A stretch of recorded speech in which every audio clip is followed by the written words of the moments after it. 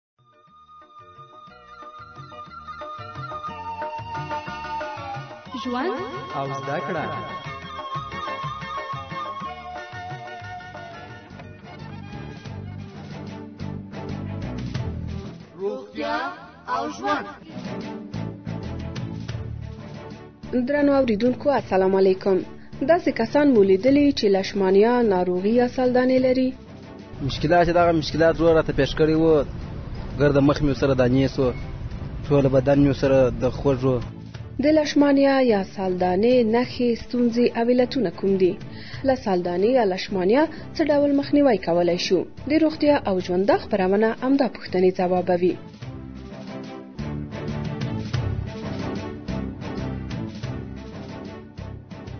جلد یا پوست د بدن د نورو غړو په شان په مختلفو ناروغیو اخته کېدای شي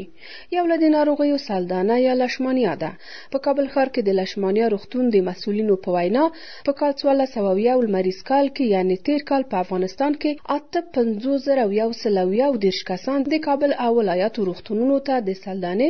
یا لاشمان یا ناروغۍ د تداوۍ لپاره راغلي، خو د سلدانې لومړنۍ نښې، نښانې او ستونزې کومې دي؟ په دې اړه به د څو کسانو خبرې واورو. نوم مې حامد ده، د کابل. د مخ مې چې ده یوولس میاشتې کېږي او د لاسو مې پنځه میاشتې کېږي چې راختلي دي. دا مشکلات چې ده ډېر لا د کار و روزګار نه غورځولي، هره ورځ ورته را روان یو دلته او کله چې زخم مې لږ وچ شي خارش کوي، پوستکی شاوخوا یې ډېر خارش کوي. د لاس مې او. پنځه میاشتې کېږي مخکې هلته د جلدي ډاکټر ښکار لاړم هغه پې پوه نه سه د هغه ملهمونه یې راکړه هغه پسې به وهله نور هم بتر سه شهید الله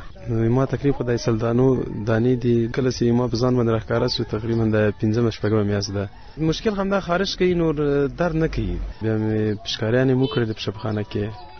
غوړ اساسات د ما ځان سره وجود بیا نو پریږي تر اوسه نو کرا کرا غټیږي نو کور کې پنځه نفر دي په دې تکلیف اخته دي نو دا دانې پر ختی څو کورونه دي تقریبا پنځه شپږ کورونه دي ټولو کې ستا دي نوم سید اقبال او یو لور مې ده بس هغه ده پنځه میاشتې کې سلطانه لري بس زیاتېږي کمېږي نه پنځه دانې پشکاري مې کړې دی پوه شوې تر څه پورې هست همدغه کم دی مشکلات دغه مشکلات وروره راته پیش کړي وو ګرد مخ مې سره دانې سو ټول بدن مې سره د خوږو نو دغه مشکلات سره درلودي دغه دغه پیدا کړی دی وروره وس دا نه ورکیږي نو دغه مشکل درلودي د یو شمېر کسانو په باور د بدن په پوست د ماشې په اندازه وړه سره او کلکه دانه پیدا کېږي چې درد نه لري، بیا د دې دانې لویوالی او پوست اچول، اوبه ترې تلل او په زخم بدلېدل د سلدانې نښې نښانې دي. په کابل ښار کې د لشمانیا په روغتون کې متخصص ډاکټر محمد حبیب نعیم نظر لري که د سلدانې ټپ زیات او ژور شي، آن د هډوکو د خرابوالي سبب کېدای شي. لشمانیا یو پرازیتي ناروغي ده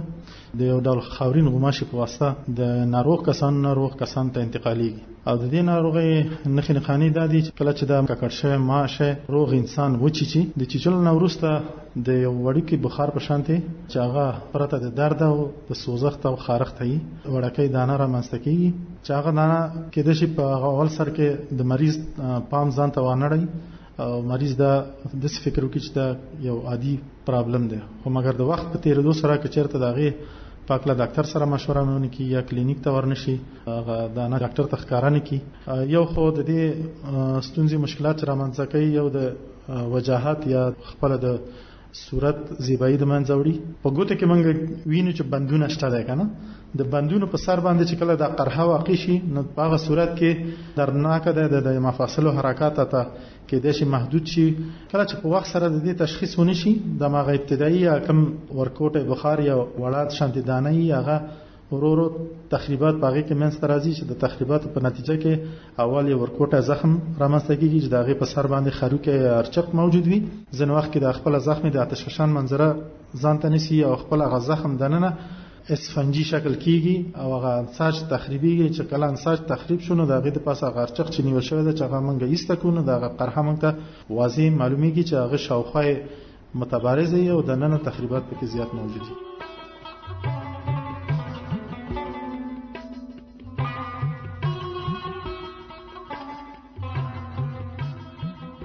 ډاکټران وایي لشمانیا یا سلدانه په پیل کې تر دریو اونیو درد خارښ او سوی نه لري له دریو څلورو میاشتو وروسته په ټپ بدلیږي دا زخم ورځ تر بلې غټیږي او یو ټکی اچوي مایع یا اوبه ترې ځي خو پوښتنه دا ده چې ولې یو شمېر کسان په لشمانیا یا سالدانه اخته کېږي؟ زما نوم محمد زمان د سالداني علت دا شی ده چې دا د غوماشې نه پیدا کېږي غوماش پر دا مردارو چتلو اوبو باندې ګرځي هغسې سړی وخوري دغسې اول کې کوچنۍ دانه وي بیا هغه کوچنۍ دانه غټه سي بله سالدانه ځینې جوړه سي په علت خو موږ هم نه پوهېږو دا دونه کاله ورکې وې سره سږ کال یې بس را پیدا سوي دي نو بیا بیخي زیات سوي دي دا ماشومان چې هر چېرته ګورې نو ماشومان سره پې ګرفتار دي او نیولي دي بس یاره ایله چې نه راته معلومېږي تاسې زه کشر وم چې په ما راختلي جې نو اوس شاید دا جې ورکې سوي جې ټپونه یې وکړه اوس دا مې ودې پر وکړې نه دی کورجې مې پر والې دوا یې مې استعمال کړې مګر نه چې په ودو باندې ورکې سوې ده میاشت کله وچی چی دا دا سالانه کیږي کوم ډاکټر ته چې جلدی ته لاړ سي په پونه سي هغه دوا چې درکې دوا چې په وهي نور به درکې کی یو تعداد کسان د لشمانیا یا سلدانې د علت په اړه وایي چې د میاشو چیچلو له امله پیدا کیږي په دې اړه ډاکټر نور معلومات هم راکوي د دې ناروغۍ زمونږ په ټولنه کې چې مونږ ژوند کوو سنفلای یا خاورین ماشه یادېږي او مریضان هم دلته موجود دي عموما کم کسان چې د سالدانی مریضان دي او هغه یا د درملنې لاندې دي یا تر اوسه پورې درملنه نه شروع کړې او هغه زخمونه خلاص دي د دغه خاورین ماشه راځي د دغه زخم نه وینه اخلي چې زه کله وینه واغسته دغه پرازیت هم د دې زخم نه د وینې سره یو ځای د دې وجود ته داخليږي د ماشي په وجود کې یو دوره ده چې هغه تیریږي پس دا غینه بیرته مغه پرازیت د ماشي لوابیا غدوات ته راځي او کله چې بل روغ کس چې چین او په هغه وخت کې چې دا روغ کس نه وینه اخلي اماغه پرازیت دغه په وجود کې ضرب کوي او هغه ته سالدانه انتقالي دغه پرازیت خو د منابع په حساب باندې وایو دوه قسمه منابع لري یو انساني او حیواني پرته د دې نه کوم واقعات چې د دې په ښارونو کې لیدل کېږي خاصتا زمونږ کابل ولایت مثال به ورکړو په دې ولایت کې چې څومره واقعات لیدل کېږي اکثرا د دې منشا چې دا یا منبع ده د انساني منبع لري اما زمونږ د هیواد په شمال شمال شرقي ولایتونو کې په دې حیواني منبع پیدا کیږي چې عموما اکثر د دې ناروغي منبع سپي موږکان صحرایي موږکان دا هم د دې منبع جوړېږي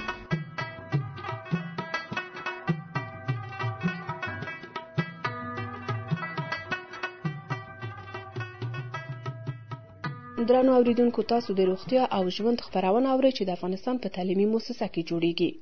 زموږ دا او نورې ټولې ښوونیزې خبرونې په تجلا ټکی اف انټرنیټي پاڼه کې هم لوستلی او هم اوریدلی شئ سلدانه په پیل کې درد خارښ او سوزش نه لري درې یا څلور میاشتې وروسته د لوبیا په اندازه غټیږي، اوبه یا زوي ترې ځي، په ټپ بدلیږي، د زخم څنډې یې پوټکي اچوي او لا خرابیږي. خو د لاشمانیا یا سلدانې څه ډول مخنیوی کولای شو؟ په دې هکله به د څو کسانو تجربو ته غوږ شو. موږ دغه جالۍ اخو جالۍ دروو، مازدیګر باید بیا دا ولاړه وي تر سهاره پورې، که چیرې جالۍ نه وه خامخا دا کار کیدای شي یا هغه ګولۍ استعمالوو ادودیږي چې مچرمار ورته ویل کیږي یا هغه ګولۍ په کور کې وي. محیط خانه ما دوا پاشی کردیم د کور می د حشراتو ضد دوا و پاشله ځکه زه خپل هم سالدانه لرم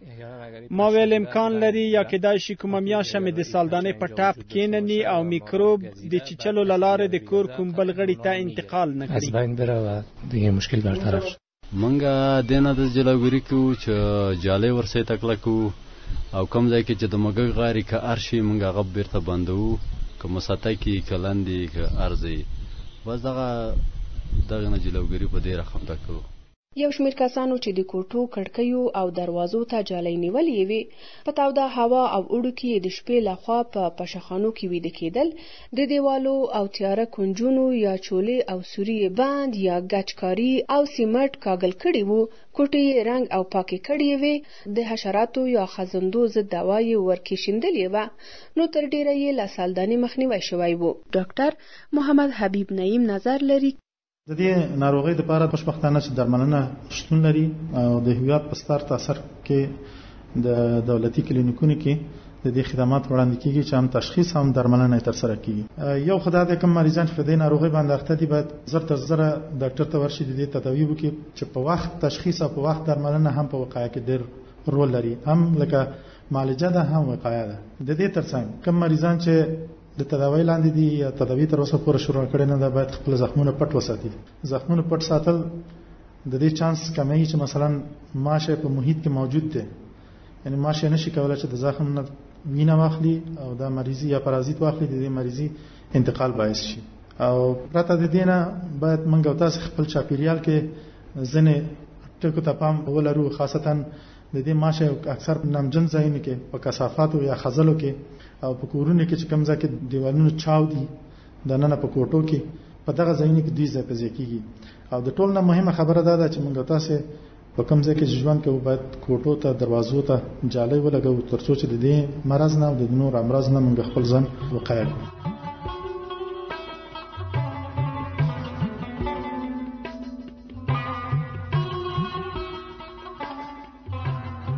لشمانیا یا سلدانه د پوست یا جلد ناروغي ده په پیل کې د مې یا ماشې په اندازه وړه وي درد خارښ سوزش نه لري دوه میاشتې وروسته د لوبیا په اندازه لویږي درې یا څلور میاشتې وروسته په زخم بدلیږي پټوکي اچوي زخم یې پراخیږي او که تداوی ونه شي امکان لري ټپي د هډوکو د خرابېدو سبب شي د ډاکټرانو په وینا لشمانیا یا سلدانه د وړو خاکي یا خاورو د میاشې د چیچلو له امله پیدا کیږي یو شمېر کسانو چې د کوټو دروازو او کړکیو ته جالۍ نیولې وي په کوټو کې د موږکانو او خزندګانو سوري یا د کوټو په تیاره کونجونو کې شته چولې او سوري په ګچ سیمټو یا خاورو او کاګل بند کړي وو چتونو ته یې په ارزانه بیه ټوکر اخیستی و موسکه یې ورکړې وه په کوټو کې د حشراتو او میاشو ضد دواګانې پاشل یې وي د شپې په پشخانو کې ویده کېدل که کثافات او خځلې هر ځای د کوټو او یا کور په انګړ کې ونه غورځوو په کثافات دانه یا ځانګړې کڅوړه کې یې واچوو او سر یې بند کړو کور ته مو نږدې د خوسا اوبو ډنډونه پټ او ډک کړو دا هم د مختلفو میاشو په کمولو او د سلدانې په مخنیوي کې مهم رول لري